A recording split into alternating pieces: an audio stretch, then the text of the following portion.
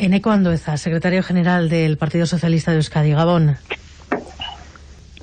Gabón. Hoy hemos conocido ese nuevo protocolo de Osakidecha para el seguimiento de la pandemia. ¿Qué le parece? Tratar a los posibles casos graves debe ser la prioridad y no seguir mirando los indicadores de contagios.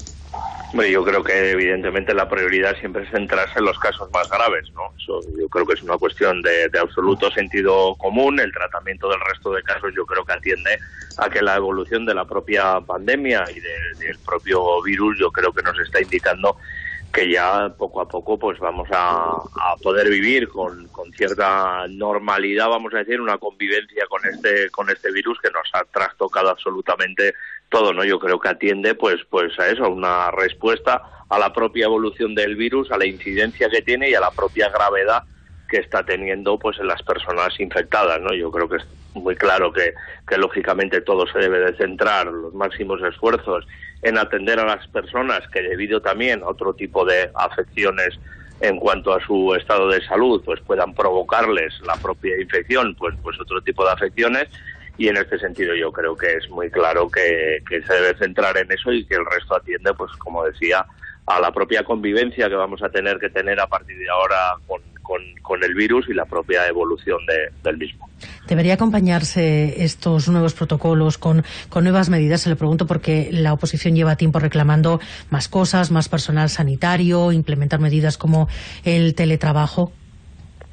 Sí, hombre, yo creo que siempre puede haber margen a ir cambiando a medida que el propio virus también ha ido evolucionando, ¿no? Yo creo que es lo que han hecho todos los gobiernos de todos los colores en todas las instituciones, ¿no? Nos hemos enfrentado a un virus que desconocíamos, a un virus que además ha ido mutando, ha ido cambiando, ha ido evolucionando y eso también ha ido obligando a las administraciones, a las diferentes administraciones a ir readaptando pues su propio sistema sanitario. Incluso, lógicamente, yo creo que a partir de ahora y a medida que vayamos encontrándonos con esa situación de normalidad, de convivencia en otras condiciones, eh, entiendo que muchos más gravos, mucho menos gravosas con, con el virus, pues también podremos analizar la posibilidad pues de aplicar otro tipo de políticas en todos los ámbitos, ¿no? Porque yo creo que esto ha agitado de arriba abajo nuestras vidas y también ha puesto de manifiesto, pues en fin, pues que también podemos ir evolucionando en cuestiones que antes no estaban en tela de juicio y que ahora de alguna manera, pues sí, nos ha demostrado, pues, pues que hay un margen de mejora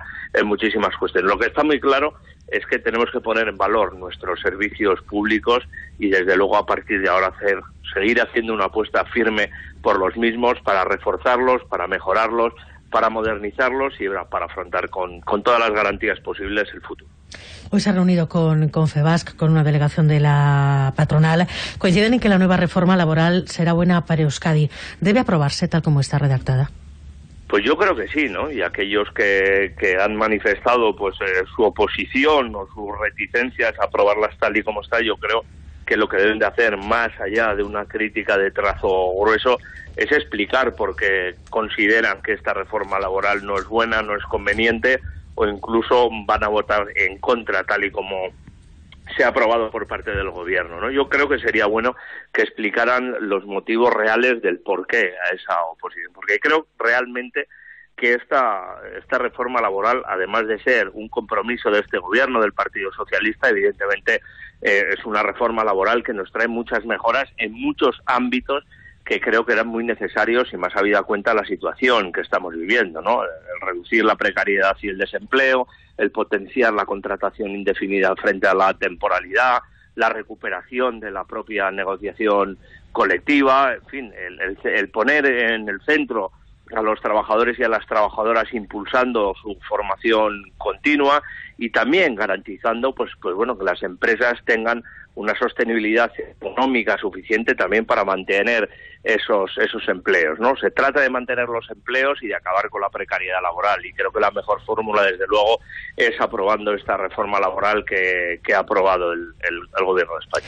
Aprobarse tal como está redactada independientemente de cuáles sean los apoyos es lo mismo que salga con la abstención del PP o de Ciudadanos que con los apoyos de los socios de la legislatura. ¿Podría suponer una grieta en la alianza que sostiene el gobierno Sánchez? Vamos a ver, yo creo que hablar de esas hipótesis es hablar de algo absolutamente irreal porque ninguno de esos partidos va a ofrecer su apoyo al, gobierno, ¿no? Y mucho menos el Partido Popular, que es quien impulsó la anterior reforma laboral que, que, tanto daño hizo a este país. No hay dos maneras de salir de las crisis, de las situaciones complicadas. Una es retrocediendo y recortando derechos, que fue lo que hizo el Partido Popular, y otra es avanzando, conquistando derechos y sobre todo a través del diálogo entre las diferentes fuerzas políticas, entre los gobiernos y sobre todo también entre los agentes, no solo políticos, sino sobre todo sociales, en base a ese diálogo, pues conquistar, conquistar derechos y llegar a puntos de acuerdo que posibiliten que entre todos tengamos un marco laboral óptimo tanto para los trabajadores y para las trabajadoras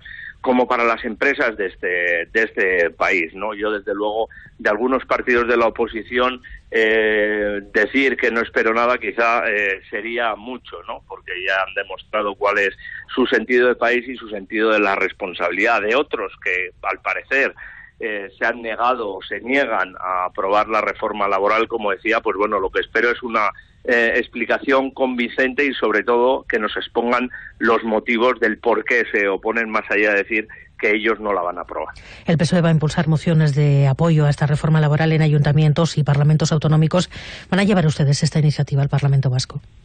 Bueno, pues eh, nosotros evidentemente tenemos que consensuar las iniciativas de impulso político en materias que están suscritas dentro de lo que es el, el acuerdo de, de gobierno. En fin, desde luego que sería un, un, gesto, pero lógicamente nosotros vamos a ser leales a los acuerdos que tenemos firmados con nuestro socio, con el PNV, y evidentemente será algo que se tratará en ese marco de diálogo constante y de la buena relación que mantenemos con nuestro socio. Pero yo creo que lo importante, sin duda alguna, evidentemente, es que esto dentro del marco de la negociación, del trámite parlamentario eh, al que está sujeta esta reforma laboral en estos momentos en el Congreso de los Diputados, salga tal y como está, porque creo que sería la mejor señal que desde la unidad de acción, no solo de los dos grupos que sostenemos al gobierno de España, sino de otros grupos parlamentarios que están dando su apoyo a ese gobierno y que están posibilitando, por ejemplo, que los presupuestos más sociales de la historia de este país, posibilitemos que el marco de relaciones laborales, que el marco eh, jurídico laboral que tienen nuestros trabajadores y nuestras trabajadoras y las empresas eh, sea sostenible y sobre todo haga posible que las condiciones de todos y todas sean mejores. Sacar adelante esta reforma va a ser uno de los eh, principales test a los que se someta el gobierno de España, que acaba de cumplir precisamente dos años en el Ecuador de la legislatura. ¿Cómo ve el gobierno de Pedro Sánchez? ¿Esas continuas polémicas públicas entre socios pueden acabar siendo un problema? Pues yo creo que no. Yo creo que hay un gobierno muy sólido que tiene muy buena sintonía interna en el propio Consejo de Ministros, en el que lógicamente en algunos momentos pueden surgir tensiones, pero que son tensiones muchas veces más eh, alimentadas o más exageradas por algunos medios de comunicación, especialmente aquellos dependientes o afines a la, a la derecha y a la extrema derecha de este país, que otra cosa. Muchas veces las cosas se sacan de contexto y yo eh, me quedo con la acción de ese gobierno, que iba a ser un gobierno breve, iba a ser un gobierno que iba a durar poco porque era un gobierno muy débil que ya ha alcanzado eh, pues eh, el Ecuador de la legislatura y que ha conseguido lo que muchos eh, pensaban que no se iba a conseguir, ¿no? Tener unos presupuestos, eh, avanzar en derechos, en libertades, aprobar leyes y sobre todo conseguir a través del diálogo con otras fuerzas políticas de diferente tradición a la, a la nuestra, a la de los dos partidos que sustentamos el gobierno, pues hagan posible que precisamente los compromisos que adquirimos con la ciudadanía salgan adelante. Yo creo que hay gobierno para rato, estoy muy satisfecho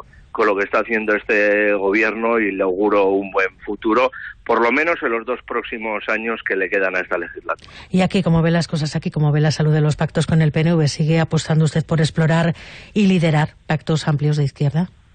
Eh, vamos a ver, eh, yo me he cansado de decir y de, y de repetir que los acuerdos con el PNV gozan de muy buena salud, entre otras cosas porque hemos conseguido dotar de estabilidad a todas las instituciones gracias al compromiso del Partido Socialista en esos en esos gobiernos que en esta situación tan complicada que estamos viviendo creo que hay que poner más en valor que que, nunca. Yo siempre he dicho que nosotros exploraremos o, o lo que intentamos es buscar estabilidad eh, con las diferentes fuerzas políticas que hay otra, en otras instituciones cuando nuestro socio en esos ayuntamientos no nos dan esa estabilidad. Y han sido acuerdos que han sido acuerdos puntuales en sitios puntuales sobre proyectos puntuales. Yo creo que en estos momentos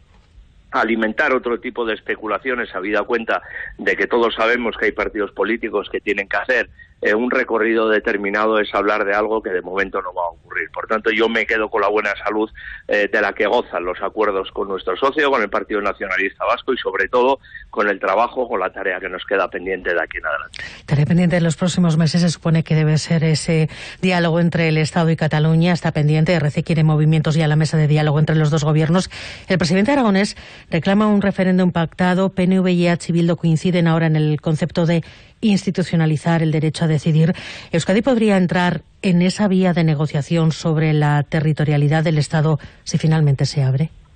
Bueno, vamos a ver, yo la primera pregunta que me haría sería, eh, ¿qué es el derecho a decidir? Porque derecho a decidir tenemos en tanto en cuanto que los ciudadanos y ciudadanas somos convocados a las urnas periódicamente para elegir a nuestros representantes, pero más allá de eso, eh, yo la pregunta que haría sería, eh, ¿para qué? Porque creo que en esta, en esta situación, yo creo que lo que tiene que ser claros con la ciudadanía, que cada cual diga para qué quiere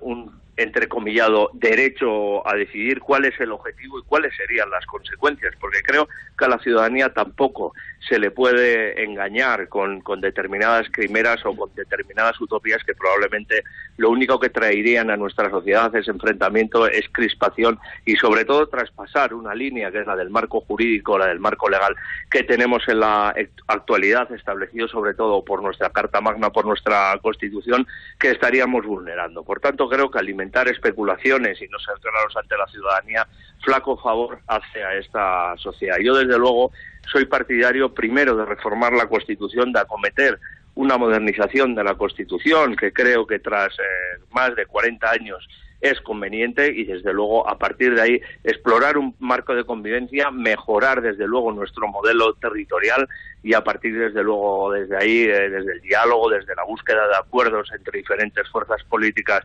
buscando el máximo unanimidad posible, encontrar un marco de convivencia entre territorios que sea el mejor, el más beneficioso, poniendo siempre en el centro a la ciudadanía, a las personas. ¿Los socialistas vascos han llegado hasta donde tenían que llegar en ese debate del estatus político? Hombre, eh, yo creo que tenemos que estar satisfechos porque estoy convencido que en un alto porcentaje de las cuestiones que verdaderamente importan a la ciudadanía, que son las cuestiones sociales, creo que se puede conseguir un amplísimo consenso. Ahora, cuando hay algunos que se empeñan constantemente en poner el acento en lo que nos divide y no en lo que nos une, pues lógicamente surgen fracturas y ahí desde luego en ese tipo de debates el Partido Socialista va a participar porque nosotros no rehuimos ningún debate, pero desde luego vamos a ser muy tajantes al respecto. Creo que tenemos una muy buena oportunidad para poder modernizar nuestro estatuto, para poder mejorar nuestro estatuto, para que nuestro estatuto sea una herramienta útil para afrontar los próximos eh, años y sentar las bases de lo que tiene que ser la Euskadi del futuro, centrándonos en eso, en incorporar los derechos sociales conquistados en los últimos 42 años, sentando las bases para conquistar nuevos futuros y hacer de Euskadi una tierra de oportunidades, hacer de Euskadi una tierra próspera, moderna, en la que todos eh, quepamos independientemente de cómo pensemos. Creo que eso es en lo que nos tenemos que centrar, creo que eso es lo que verdaderamente espera de nosotros la ciudadanía, no que les generemos ningún tipo de eh, problema, no que generemos tensión social y no que pongamos en el centro del debate cuestiones que no les preocupan. Pues Eneco Anduezo, secretario general del Partido Socialista de Euskadi, gracias por estar en Gambara. Gabón. Es que Gabón. you